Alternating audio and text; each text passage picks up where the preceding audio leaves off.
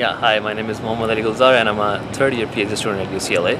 I actually graduated from Lahore University of Management Sciences, which is back in Pakistan, and I graduated in 2014. And I'm doing my PhD in software engineering. So I started off by like taking some research courses at my undergraduate university, and then my advisors there they guided me towards the whole process of applying to grad schools. I took my GRE and TOEFLs uh, like six months before the actual program, like the application, and then I applied for the UCLA. So after undergrad, did you have any work experience? No, I directly applied for a PhD after my undergrad. Yeah. So you didn't do masters? I didn't do masters. I'm doing my masters PhD together at UCLA. Together, I yeah. see. So um, what was your GRE score? Uh, my GRE was 152 and 168. So total um, around uh, out of 340, right? It's, I I think it's like 170, 130. Yeah, 340. Yeah. So out of 340, 320. 340 is the maximum. That's true. Yeah. 320. Okay. So TOEFL? Uh, TOEFL was 113. I see. So uh, did you prepare on your own for GRE too? Yeah, I mean, I like I prepared for a couple of months for GRE and Yeah, I got my lunch too.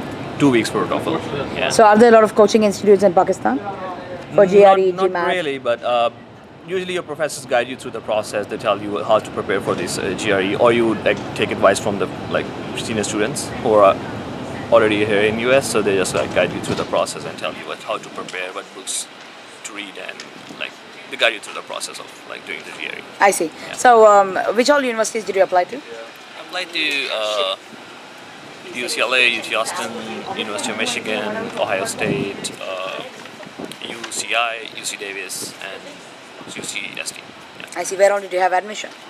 I had admissions from UT Austin, UCLA, UCSD, uh, UCI, Ohio State, and University of Michigan. Like Oh, quite a lot of admissions. So why did you pick UCLA above the others? Well, I like LA. First of all, uh, my research interest with advisor here were uh, big of a match than the rest of the universities, and, I really like the. Uh, what kind of research do you do? Uh, I do research in like systems. I build program analysis tools for big data systems. Big data systems. So That's it's true, yeah. more like uh, data mining, data collection, data organizing. Yeah, these these systems they do data processing on large scale data like Spark, Hadoop, and there are like a couple of tools that are built on top of it. So we build debuggers, program analysis tools on, on for these debuggers. Okay, so um, um, what kind of advice do you have for future students?